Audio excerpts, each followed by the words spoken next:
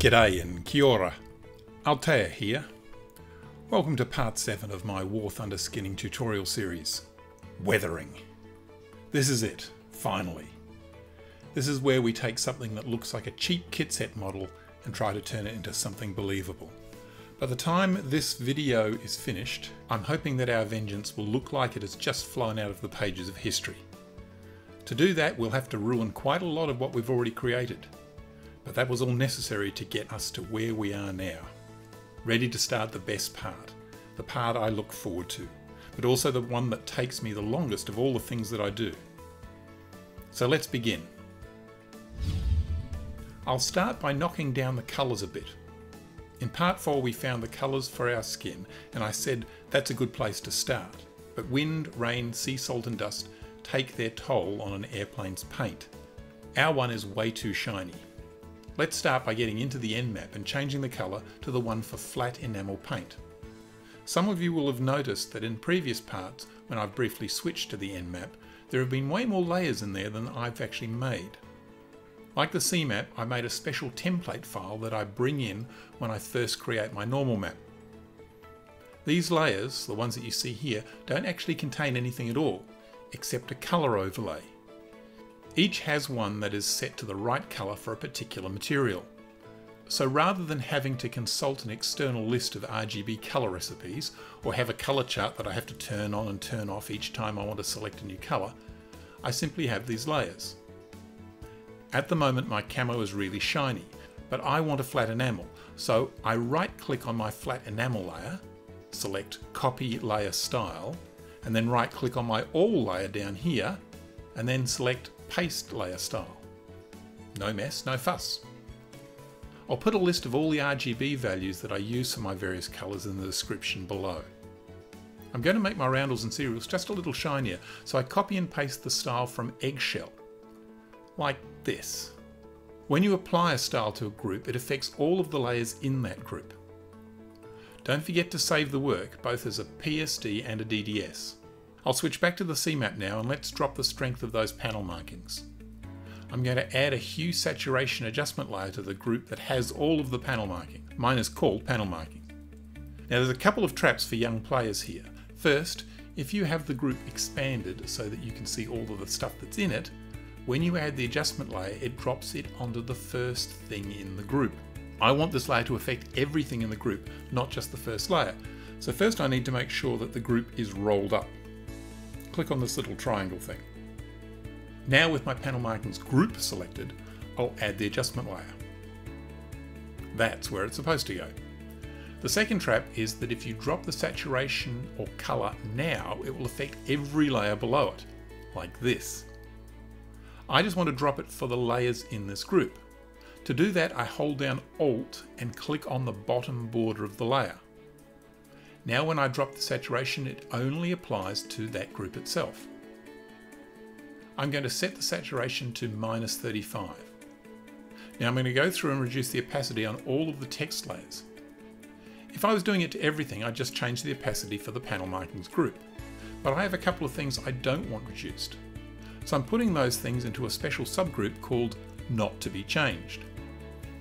I'll dump the prop back and front and the fuel caps in there. I'll put all of the other groups into a group called to be changed, then drop the opacity of that group to about 50%.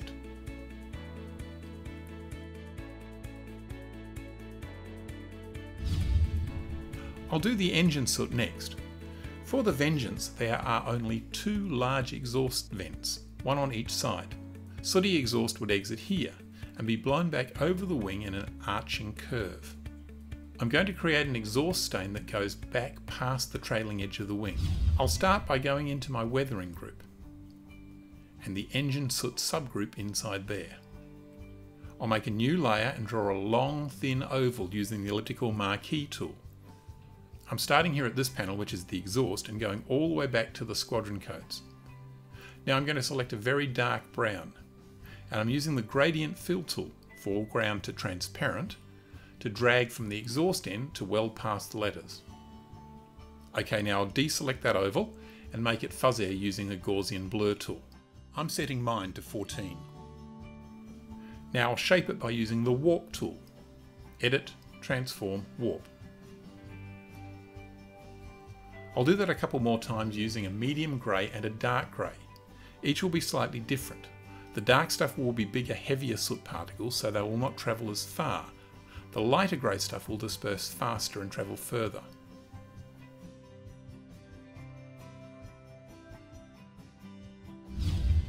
Now looking at the position of the exhaust pipe, the top front of the wing is also going to cop a bit of soot. So I'll add that in now. I've put my two exhaust mini stacks on their own groups and I'll copy them and position them for the wings. Now use those shape layers we made way back in episode 2 to refine the edge so the exhaust doesn't spill onto surfaces that shouldn't have it.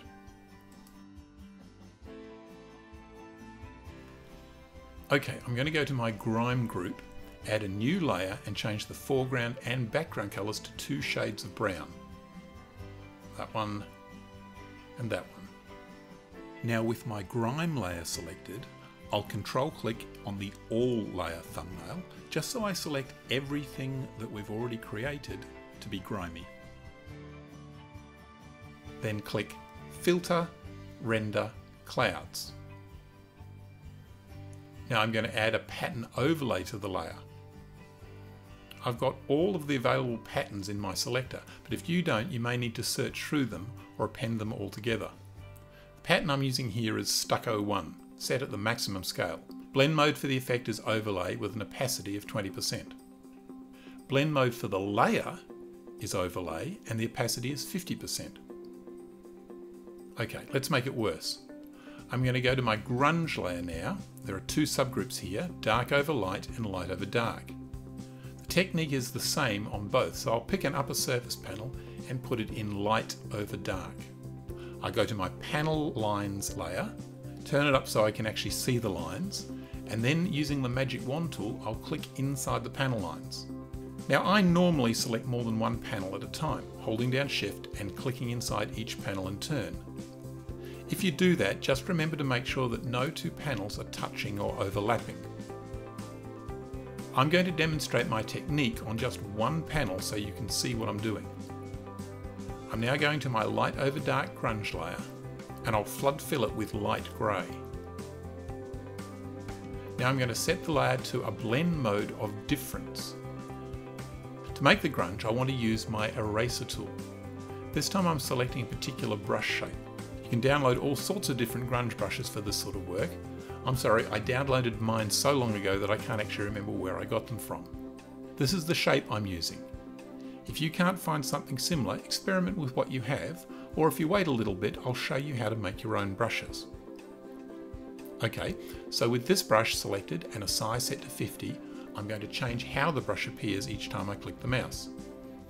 Using my brush control panel, I'll click on Shape Dynamics and set jitter to 100%, minimum diameter to 20%, angle jitter to 100%, roundness jitter to 50%, control to off, flip X and flip Y, make sure they're both turned on. Now set the brush opacity up here to 40%. Now I'll go over the panel on multiple passes. Each one eats a little more out of the panel, I'm trying to work my way from the centre outwards, so there's more left at the edges than at the centre. Once I have what I feel is a workable panel, then I'll move on to another set of panels.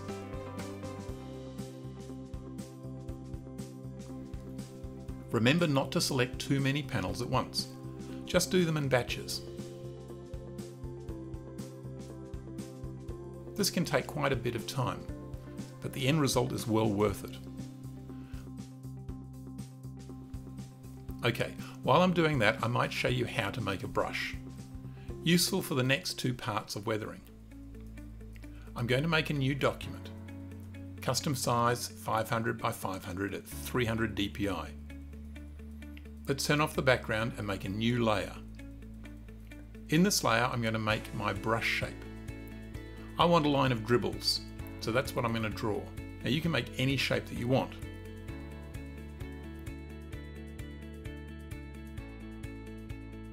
Okay, once you have the shape, select it using the rectangular marquee tool. Then go up to Edit and click on Define Brush Presets. Your new brush will be at the bottom of your brush options, down here. Okay, let's just check back and see how I'm going. Okay, that's just about done. Now I'm going to make a copy of each of those layers. Turn off the originals. Now with a big grunge brush set to random, I'm going to go through and take a bit more out of these panels. Don't worry about overdoing it. You've still got the originals, and those are also useful if you're going to make another skin on the Vengeance and want an original grunge pattern. Okay, I'm going to add some fuel spill stains near the fuel filler caps on the wings. I'll make it using three separate layers. One for a dark blurry smear, one for an orangey brown blurry smear, and one for a black stain that I made as a brush. As always, adjust the blend mode and opacity until you get something you like.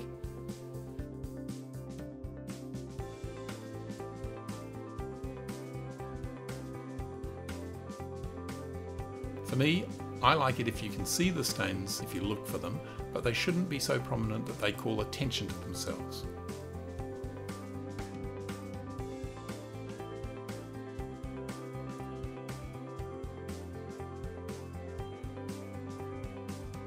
Okay, now I'm going to add the smears and streaks created by flying through the air, bug strikes and small birds, mainly on the leading edges of any surface.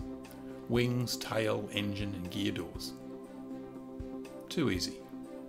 While we're here, we should really think about some paint chips on the wing leading edge, caused by stones thrown up by the prop wash on takeoff. So let's not overdo it. The edges of the props will be chipped and worn away by the same process, so let's add that too. Maybe some oil runs and smears as well. Okay, remember all that trouble we went to making the rivet layer only to turn it off? Well now we're going to reap the rewards of all that effort.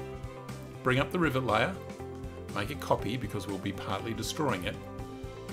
Set the colour overlay to pure white and turn off the stroke. Now right click on the layer and select Rasterize Layer Style. Select the blend mode to soft light. And then go to town with your eraser. We want only a few left.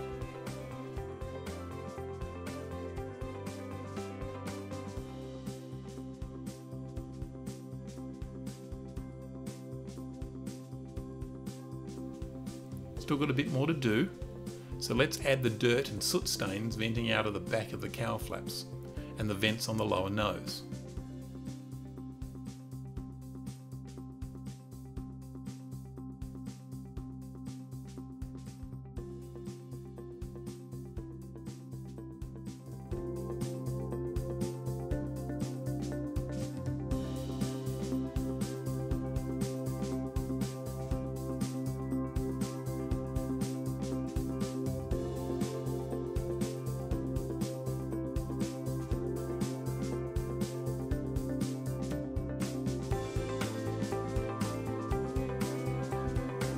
Also some gun soot around the machine gun ports, as well as a few stains near the shell ejector ports.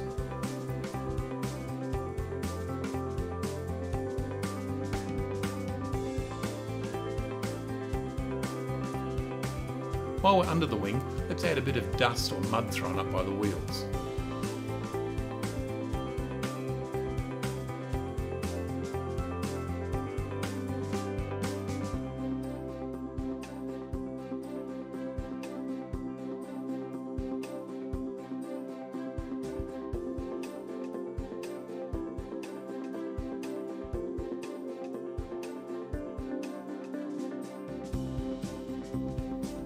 Now I'm going to put in some streaks on the leading edges of all the control surfaces. Ailerons, flaps, elevators and rudder.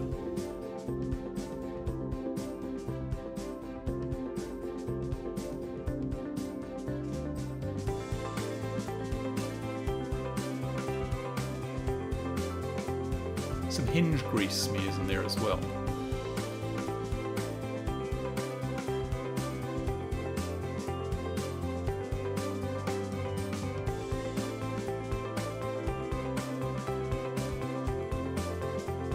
About some extra weathering where all those grubby hands and boots come into contact with the airframe? On the wing and around the canopy.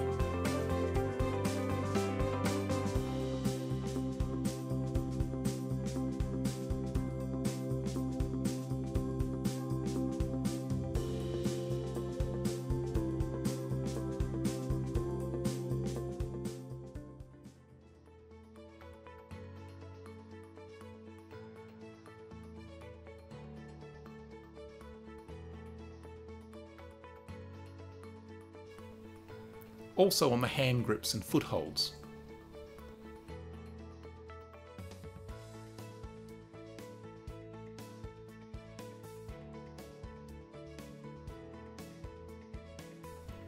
Rain marks where all the dirt and crap from the canopy wash down the fuselage when the beast is parked. Oh, and speaking of crap, birds would definitely use that HF antenna line as a perch, so... yeah. Okay, nearly done. Now select the weathering group and make a duplicate of it in the NMap. I won't use everything, but I will change the exhaust and gun smoke to flat. I'll also give the grime and grunge layers that same treatment. Stone chips I'm going to set to gloss enamel. I'm not actually using the metal colours. It doesn't work well with really small features like stone chips.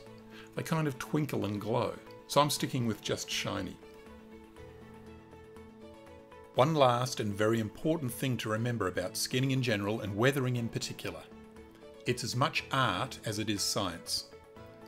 Yes, you have to understand the science behind light and how air flows over a wing to get the arching exhaust right, and that soot is heavier than smoke so that it travels less distance. But in the end, it's all about what your skin looks like in the game. So trust the science of painting to get you into the right general area, but go with your gut on the fine tuning. If you think the colours look just a little too much, then pop an adjustment layer on the problem and desaturate it. Too dark? Lighten it. Too sharp? blur it. Do whatever it takes to get the thing looking right. Okay, let's see the difference now. Okay, that's more like it. Now we've got ourselves a decent skin. Next time, we'll be shooting holes in everything and setting up the damage files. See you then. Kia kaha.